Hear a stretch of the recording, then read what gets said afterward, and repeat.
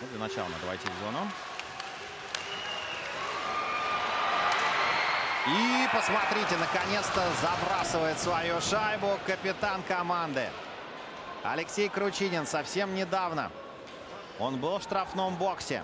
Вот так вот он реабилитируется.